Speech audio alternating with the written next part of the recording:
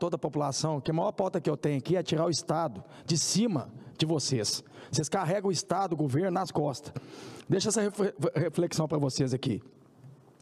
Pagar imposto sobre o dinheiro que você ganha, impostos sobre o dinheiro que você gasta, e impostos sobre coisas que você possui, pelas quais você já pagou impostos com dinheiro já tributado. Sabe o que eu estou falando isso, gente? Olha isso aqui. O governo está até soltando foguete, comemorando que já arrecadou agora. Nós estamos em abril, bateu o recorde de arrecadação. O impostômetro pode olhar mais de um trilhão de reais. Mais de um trilhão de reais. Vocês sabiam? De 365 dias, 147 dias são para você pagar isso? Nós estamos no mês de abril, até maio, se fosse, fosse trabalhar de janeiro, fevereiro, março, abril, maio, é para pagar isso aqui? É a partir de junho que você vê a cor do seu dinheiro? Vocês sabiam disso? Que 50% de tudo que vocês consomem, vocês pagam imposto? E aí eu faço uma pergunta, e vem mais, porque agora vem o DPVAT agora, que a Câmara agora aprovou, está aqui no Senado. E eu coloquei uma emenda agora aqui, para ficar facultativo, porque é democrático. Aquele que quer pagar, paga, aquele que não quer pagar, não paga. E eu conto com o apoio dos 80 senadores, que é muito democrático. Então, além dessa arrecadação aqui, de um trilhão que já chegou, bateu o recorde, Nunca se arrecadou tanto, porque nunca, todo dia é um imposto a mais, inclusive o DPVAT. Né? Agora eu queria mostrar para vocês esses impostos aqui, um trilhão, para onde que está indo? Eu quero aqui falar para vocês, gente, que bateu recorde agora, nesse mês de abril, mais de um trilhão de reais. Então, para vocês terem noção, de 365 dias do ano, 147 é para você pagar isso aqui. A gente está em abril até maio, você está pagando imposto. A partir de maio que você vê a cor do seu dinheiro. E eu queria mostrar para vocês para onde está indo a cor do seu dinheiro. Tá bom? Primeiro que esse ano tem eleição, viu? Lembre. Já é 5 bilhões para colocar no rabo do Legislativo, 16 bilhões. Poder Judiciário Federal, 57 bi. Só para o STF, gente, é 837 milhões. Dá quase um bilhão. Para a presidência da República, 3 bi. Agora eu vou mostrar para vocês como é que a presidência da República está gastando. Lula vai ter ele ponto, de quase um milhão, que pode receber até um carro voador. Deve ser um disco voador que vai vir de Marte, que eu não sei o que é isso. Eu acho que até as Forças Armadas podiam fazer isso. Mas vai gastar um milhão para receber até um carro voador. Não sei, não estou entendendo é nada.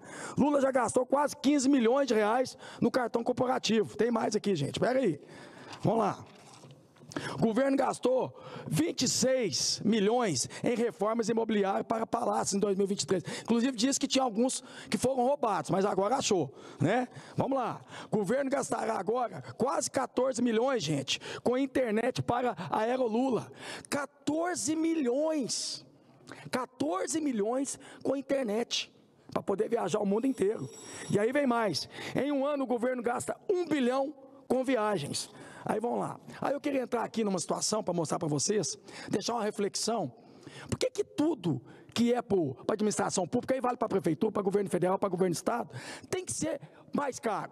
Se eu vou lá como iniciativa privada, se eu quero comprar um pão, um exemplo, é cinco reais. Se for para a prefeitura, é 10. Na lógica, como é para servir o povo, tinha que ser mais barato. E a gente pega e vê algumas licitações aqui que não dá para entender o que está acontecendo com esse país. Não dá para entender. Eu queria mostrar para vocês aqui, até para chamar a atenção de quem está fazendo essas compras. Isso é lá no Ministério da Defesa. Não estou aqui apontando o dedo, não. Estou aqui para orientar e ajudar, como eu fiz com o GSI, que barrou a licitação. Então, às vezes, a, a intenção aqui é barrar essas licitações. Ministério da Defesa, gente, 500 quilos de pé de porco. Licitação, a licitação, R$ reais. O valor do, do, do quilo pé de porco. No supermercado é 9. 47 para o governo federal, você vai no supermercado, é 9. Tem condição? 400 quilos de maminha, aquela maminha, aquela carne boa, licitação. 71 reais, quase 72. No supermercado você compra por 40. No supermercado. É quase a metade do preço. Ovo de galinha, até que canja de galinha não faz mal para ninguém, né, gente? Na licitação, 45. Sabe quanto que é no supermercado? 15 reais. Vamos lá que tem mais. Continua no Ministério da Defesa. Aí vai. Aí, gente, não tem limite. 138 mil reais em 14 mil tortas de limão. Eu adoro torta. 177 mil em 14 mil tortas de frutas vermelhas.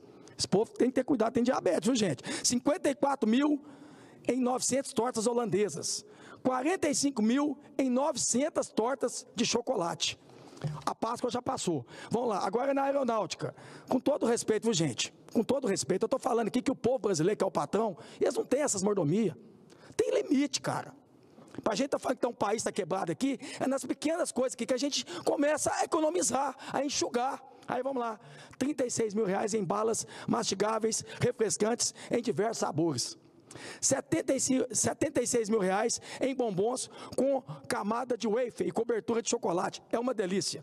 78 mil reais em geleias de diversos sabores. 220 mil reais em sorvetes de diversos sabores. Eu faço uma pergunta para você que é o patrão. Você tem isso aqui na sua casa?